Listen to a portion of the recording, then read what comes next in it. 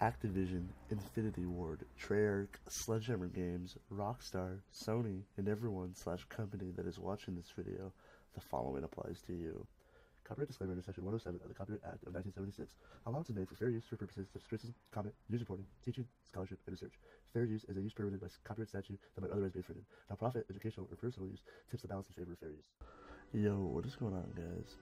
My name is X Super Lobbies, and today in this video, guys, it's gonna be a pretty simple tutorial, and I'm gonna be showing you guys how to check to see if Sony usernames are available without having to go through the process of creating your account first. So let's get it started. First off, you're gonna want to download this in the description below, but it will come in in WinRAR. So go ahead and extract the file.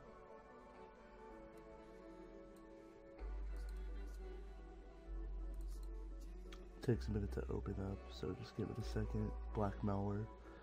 Uh, if you guys don't know, that video is right here.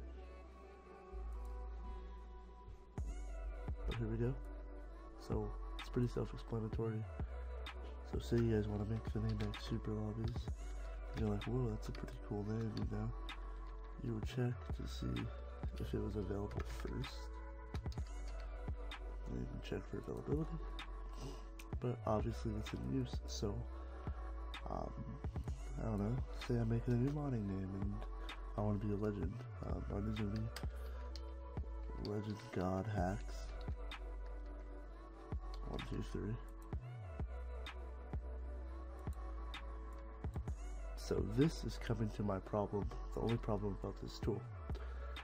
The text box is only it's unlimited, but PSN names can only be 16 characters. So if you see this, yeah. So make sure it's under 16 characters. So I'm gonna be God hacks. Er, no. Yeah, yeah.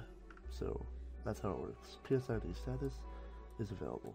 So that's how you check for availability. Um, so most of these names, like OG names, they will be taken most likely obviously. So that's how you check to see. So it's a pretty simple tool. Uh, here the credits right here. Uh, I'll have the NextGenUpdate link below. It's pretty simple, but a lot of you guys probably want this or think it's cool. So hope you guys did enjoy the video. And if you did, please leave a like, subscribe if you're new, leave any comments, tell me how your day's been, tell me what's up, and I hope to see you guys in my next video. Peace.